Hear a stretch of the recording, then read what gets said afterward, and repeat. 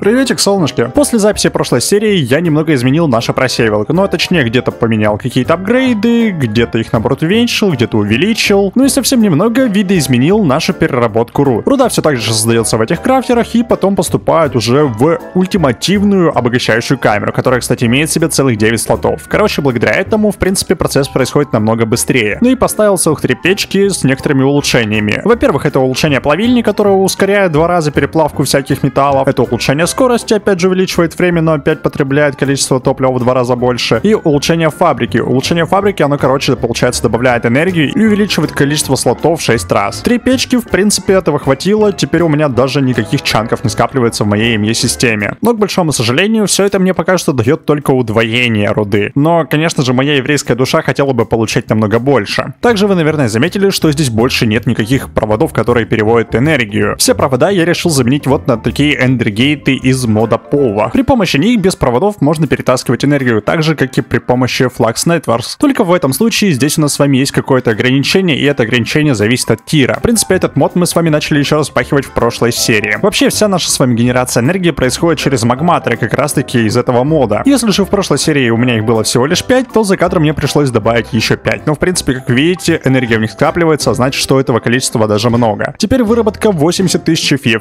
но в принципе этого пока что хватает.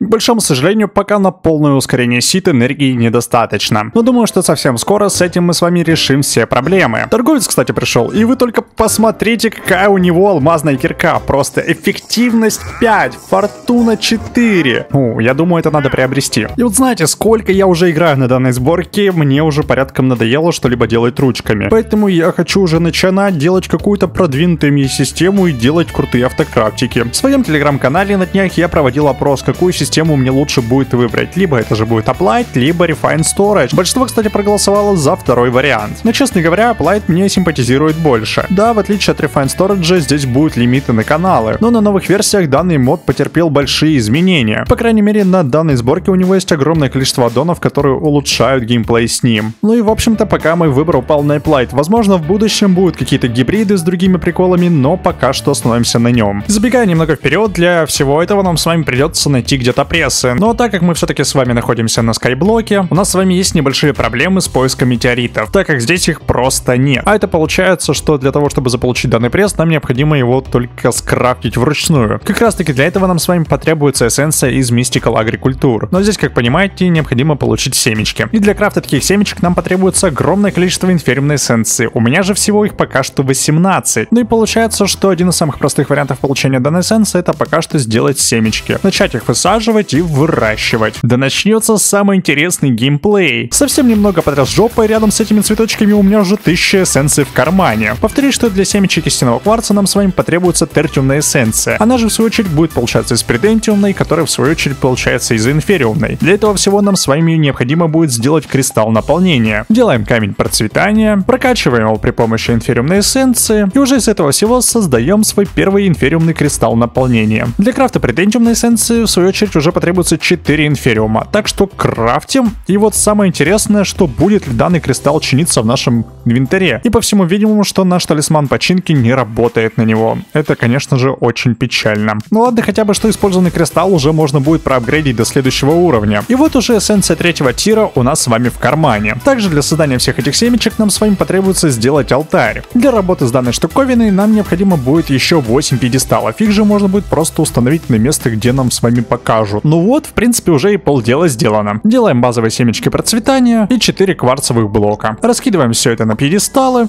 Ну а на алтарь кладем базовые семечки. Для того, чтобы все это активировать, нам с вами потребуется какая-нибудь кнопочка. Бамс! И процесс пошел. Ох, уже новый день наступил, а я уже и забыл про эти семена. Так что высаживаем их на грядочку и начинаем по новой фармить эссенцию. Ну и думаю, что на первое время стака нам с вами хватит с головой. Ведь нам все равно необходимо сделать только 4 основных пресса. Но вообще в дальнейшем при помощи этой эссенции можно будет автоматизировать получение чистого кварца, либо же его пыли. Но для этого придется создавать огромный автоматический огород, ну и соответственно какие-то еще крафты крафтики, прикрафтики и тому подобные приколы. Возвращаемся к созданию ми-системы. Для начала мы с вами делаем зарядник и парочку прессов. К примеру, при помощи данного зарядника мы с вами можем заряжать кристаллы истинного кварца, для того, чтобы получать заряженный кварц. Но в данный момент для нас это не совсем-то и актуально, потому что весь этот с вами заряженный кварц мы получаем путем просеивания песка на сите. И в ми-системе у меня его скопилось уже 7000. Но при помощи высекателей мы с вами будем получать процессоры. И, кстати, оба эти механизма требуют для своей работы энергию. Пока что я воспользуюсь эндергейтами. Все же беспроводная энергия это круто. И вот, наверное, у человека, который видит впервые данную штуковину, есть один небольшой вопрос. Зачем 5 высекателей, когда у нас с вами имеется всего лишь 5 прессов? Дело в том, что данный пресс у нас с вами выступает в качестве формы. При помощи него мы с вами получаем отпечаток. В дальнейшем эти отпечатки необходимо будет собирать воедино и получать процессор. И как раз таки получается, что в 4 из 5 мы с вами будем получать отпечатки, а в пятом делать уже процессоры. Да, и в первое время нам придется с вами поработать ручками. Но уже буквально через несколько минут мы с вами все это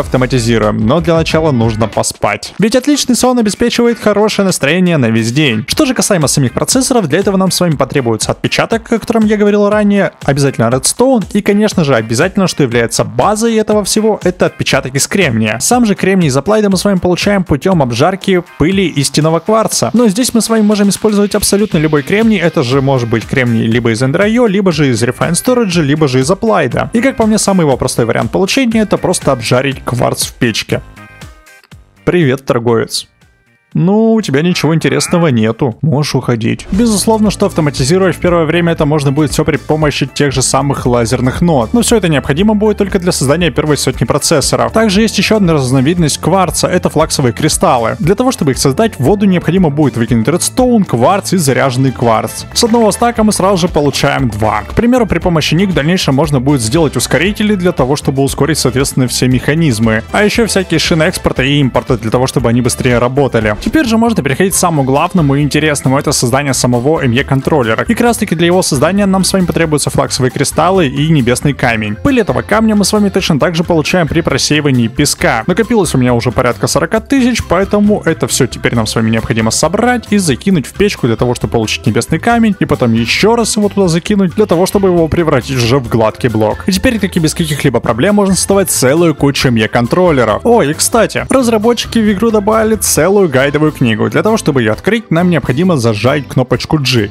И прямо как в Create у нас с вами открывается целый гайд. Очень много всего интересного, полезного вы здесь сможете найти. Даже, к примеру, какие-нибудь приколы и советы. Что же касаемо ми контроллера, здесь нам с вами говорят, что его можно строить 7 на 7 блоков. То есть мы с вами можем сделать вот такой вот куб. Показывать на примере, как можно размещать блоки и как нельзя. В общем-то, все самое интересное и полезное можно найти тут. Но вообще, на первый взгляд, это вот такой вот футуристичный простой блок. И вроде даже ничего обычного в нем нет нету. И вот для того, чтобы он начал сиять красками и в принципе-то начал работать, необходимо его будет подключить к энергии. Теперь с каждой из своих шести сторон он будет передавать по 32 канала. И соответственно любой прикол, который мы к нему будем подключать, к примеру, это будут терминалы, интерфейсы, либо же шаблонный провайдер, все это в свою очередь будет кушать по одному каналу, за исключением каких-нибудь механизмов. Теперь же что касаемо проводов. Во-первых, у нас с вами имеется кварцевое волокно. При помощи такого провода мы с вами не можем передавать канал, а можем передавать только энергию. А это что дальнейшие соединения у нас с вами не будут влиять на нашу основную ми-систему. И это получается, что у нас с вами будет создаваться подсистемы. О том, что такое подсистема и как ей пользоваться, мы с вами поговорим в дальнейшем, как-нибудь, когда это мы с вами будем затрагивать. Но пока можете поизучать гайды, если вам это интересно. Добавив к кварцевому волокну уже два флаксовых кристалла, мы с вами можем получить флаксовый кабель. И вот он как раз таки будет передавать каналы. Но если мы его даже с вами так подключим, то ничего не увидим. И как с ним работать, тоже непонятно. Для того, чтобы читать информацию, его необходимо будет покрыть шерстью и прокачать его при помощи редстоуна и светопыли до умного кабеля. И в случае, когда мы его с вами подключим к ME-системе, либо же подведем ему энергию, то увидим, сколько каналов у нас с вами используется. Но вот, блин, не задача. Кабель-то у нас с вами переносит 8 каналов, а контроллер только с одной стороны выдает 32. И вот для того, чтобы нам с вами переносить 32 канала, нам необходимо объединить эти 4 кабеля и получить плотный кабель. Подключаем его к ME-системе и видим, что он передает уже 32 канала. Ну прям как какая-то магия происходит. Теперь же для того, чтобы взаимодействовать нашей ME-системой, ну а точнее открыть этот самый большой сундук, нам необходимо сделать несколько терминалов. Для себя я выделяю всего лишь три основных терминала. Терминал для крафтов, для кодирования шаблонов и терминал для удаленного доступа к провайдеру шаблона. И все это на первое время можно подключить к нашей ME-системе. А вот если бы вместо обычного флаксового кабеля мы бы с вами подключили умный, то увидели бы, что здесь появились какие-то полосочки, а сверху показывает, что у нас с вами используется целых три канала из восьми. И вот как раз таки эти три терминала используют три канала. Так что каналам обязательно нужно обращать особое внимание. А то построить какую-нибудь автоматизацию, она у вас просто работать не будет. А потом начнутся какие-нибудь глупые вопросы, почему тут, почему это, почему то. Ну вот, в общем-то. Касаемо еще кабелей, мы с вами можем их покрасить в какой-нибудь цвет. В таком случае терминалы приобретут цвет этого кабеля. А самое же главное, что кабели разных цветов у нас с вами просто не будут коннектиться между собой. И вот для того, чтобы их соединить между собой, необходимо будет использовать обычный кабель. К примеру, это может быть, ну, умный кабель, либо же плотный, либо же обычный флаксовый. Но опять же повторюсь, что обязательно нужно следить за каналами. К примеру, если вы от мне контроллера поставите умный кабель, потом к нему подключите толстый кабель, а потом опять какой-нибудь кабель, то в таком случае он у вас не будет передавать 32 канала, а будет передавать всего лишь 8 каналов, которые он изначально, получается, забирает от контроллера. И вот вроде бы вы сделали ME-систему, даже сделали терминалы, но предметы вы почему-то не можете положить в него. Дело в том, что ему некуда это складывать. Для этого необходимо сделать ME-драйвер. Дальше нам с вами потребуется сделать какие-нибудь компоненты хранения. Из 1000 мы с вами можем сделать 4000, из 4000 можем сделать 16, из 16 тысяч 64. Ну и соответственно, если у вас стоит какой-нибудь аддон еще, то можно улучшать дальше и дальше. И вот дальше уже из этого компонента можно будет сделать ячейку хранения. Присоединяем дисковод к ME-системе и закидываем в него ячейку. И вот только в таком случае мы с вами можем складировать предметы в наш большой компьютер. Опять же, стоит обратить свое внимание на ячейки, так как они у нас с вами имеют байты и типы. Байты у нас с вами отвечают за количество предметов, которое может храниться, а типы за типы предметов, которые тут есть. То есть, соответственно, чем больше мы с вами закинем туда, к примеру, каких-нибудь инструментов, которые имеют прочность, тем меньше предметов у нас с вами сможет храниться в этой ячейке. Да, соглашусь, что здесь немного сложновато, но просто не стоит забивать ими систему предметами, которые не стакаются. Но вообще на данной сборочке стоит аддон, который добавляет диски без типов предметов. Соответственно, в них мы с вами можем складировать абсолютно все, что только можно. Теперь же, что касаемо каких-нибудь автокрафтов. На новой версии ME интерфейс у нас с вами разделился на два блока. Это получается провайдер шаблонов, ну и собственно сам ME интерфейс. Теперь же только провайдер шаблонов у нас с вами будет отвечать за автокрафты. Ну а при помощи ME интерфейса точно так же можем подавать и забирать предметы. И пожалуй все-таки первыми автокрафтами у нас с вами побудут вот эти вот высекатели. Присоединяем к ним шаблоны и провайдеры, их в свою очередь подключаем к кабелям, а кабель получается подводим уже к нашей ME системе. Вот в принципе теперь у нас с вами здесь используется 5 из 8 каналов, значит все 5 ME интерфейсов подключено. Тяжело привыкнуть к новой версии и называть интерфейс провайдером, но как-нибудь я с этим справлюсь. Соответственно, для того, чтобы кодировать какие-то шаблоны, нам необходим сам бланк шаблонов, поэтому делаем парочку штуковин, и дальше нам с вами необходимо воспользоваться терминалом, который отвечает за кодировку. И, кстати, в новой версии помимо двух стандартных позиций, это шаблон крафтов и шаблон для процессов, также еще появились шаблоны для кузни и камнереза. Ладно. Помещаем сюда шаблончики, находим в J нам необходимый крафт, к примеру, это будет вычислительный отпечаток. Нажимаем на данную кнопочку и крафт у нас с вами переносится. Убираем лишний, получается, пресс, потому что он у нас с вами не будет использоваться, так как он уже находится внутри высекателя. И нажимаем на стрелочку для того, чтобы закодировать шаблон. И проделаем все те же самые действия для остальных крафтов. Теперь у нас с вами имеется целая куча шаблонов, которые необходимо разместить, получается, в каждый провайдер. Для этого достаточно его открыть и просто засунуть сюда паттерн. Ну а для того, чтобы высекатель нам с вами автоматически выдавал все предметы обратно в наш с вами провайдер, необходимо здесь нажать на кнопочку автоэкспорт. Ну и соответственно всю нашу старую с вами автоматизацию можно просто снести. Открываем ее систему и у нас с вами появились новые предметы, которые мы с вами можем создавать. Ну точнее у них есть надпись крафт, значит их можно крафтить. Но пока что мы с вами не можем ничего делать, потому что наша система с вами пустая. Ну и так как мне пока что лень переносить все свои ресурсы и подключать ту штуковину, эту штуковину, еще какую-нибудь